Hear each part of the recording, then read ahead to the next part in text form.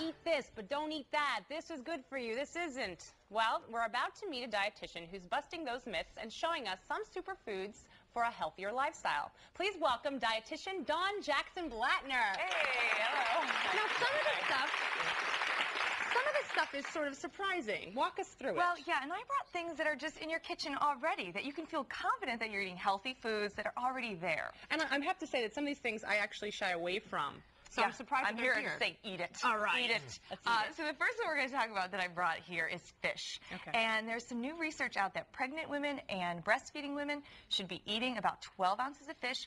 Uh, it's like brain food for your ounces baby. per week? Oh, good question. Yes. Or is 12 it a day? ounces, 12 ounces a week. A week. Okay. And that, a lot of people don't know what that looks like. A deck of cards, so, you know, playing cards, Mm-hmm. that's about four ounces. So you have three decks of cards of fish each week, and that's good brain Bill, is that enough for you? No. He- he- he's, Not yeah, even- he's so not even in smart. one he eats setting. so much fish. gonna say.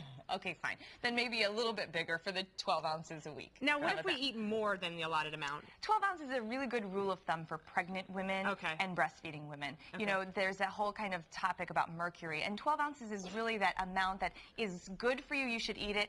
You know, a variety of fish. But I, I was told, and, and maybe this is a myth, but I, I, it was tuna, salmon, and, and what was, there was a third one. I Mm-hmm. But you thought. can, swordfish you should not. No, oh, swordfish you stay away okay. from. Stay away from So that. here's all the myths I will tell you. Clear it up. Tuna and salmon very high in omega-3 fats, which is very good for you. And If you sardines, want too, those. right? Oh yes, sardines. You want those fish. I fish. love sardines. they stink. I'm so Italian. I'm so Italian. they do. You want those. And the ones you don't want to eat so much of if you're pregnant or breastfeeding are those jumbo fish like shark or swordfish or Okay. tile the, the bigger the fish, The more mercury it has. mercury. And albacore tuna is also the big it's, fish. it's a pretty big fish. So yeah, when you're getting tuna, it's more of the flake white tuna. okay, All right, now, so nuts and beer. yeah. So I've already been drinking this know, already this morning. also Yeah, I was wondering, you were slurring your words a little bit there. I know. Um, Bell, be healthy. See, Drink God. beer. Yes, what this is going to do for you when you're drinking away that dark beer is it's kind of like red wine. It's very protective of your heart. So the idea here is it's not just wine that you can feel good about, but beer. But how much? I mean, are you overdoing it? You Yeah. know, women it's about 12 ounces. A one 12 ounce bottle um, a day would be okay. And for men, they get 24 ounces Per day? per day. Wow. Yes. So that's considered moderation. Is it Yeah. only the dark beer? Dark beer does have more of those flavonoids, so it is a little bit healthier for you. It's 150 calories a glass. So Now, this is uh, a little warm. Is Easy it, does it. is that, is, it, is it better than good I warm was beer or clutching it. I was clutching it uh, before I got here. Here, yeah. European style. Is Right. it going to stop you from drinking it? No. No, no, he's Okay, drinking away. let's talk about All the right, so it kind of goes together, right? You're drinking a little beer, eating a little nuts, and I hope you're counting those, Bill. Are you counting Uh, them? I'm on number five. Oh, okay, yeah, Yeah. I, maybe a little bit more. But the idea with counting your nuts uh, is that a one ounce serving. Yeah. This is a Well, I family know, show, I know, guys. I know. That always, it always gets you. With thing that, we have a with that. seven-second Fine, delay. Should- yeah, that's true. Yeah, beep.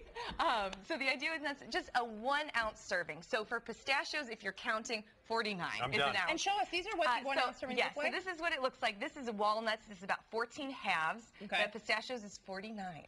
What are bad Uh, nuts? And almonds. Uh, there are no bad nuts. No. There are bad. No bad nuts. For, you're right. there are bad seeds, but no bad nuts. Uh-huh. No. Yeah, Um, the way that you eat them, forget it. Bob, uh, Bill, Bob. I like Bob, that. he's drinking the Gee, beer, yeah, Mary. what's the slurring? This is how he eats them. So he's But- over. Look at him. well, I think I Just feel that count for him. when I throw them in faster, then I lose count, so then I don't no. feel as Yeah, guilty Count about it. away. That's your message for the day. Let's One move ounce. on to this because Okay. I love guacamole. I These love are salsa. yes, these are great little sides that are miraculously good for you. This is salsa.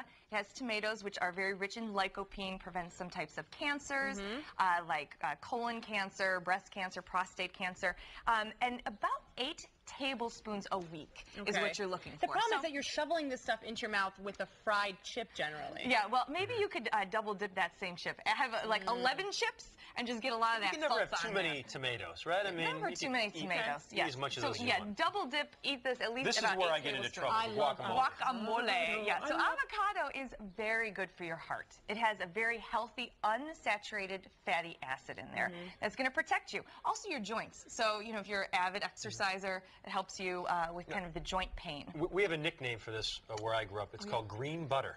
Oh, yeah. What a great you put idea. it on, you can put it on instead of butter. Yeah, and I love that. Instead of butter, instead of mayonnaise on your sandwich, this is going to be heart smart.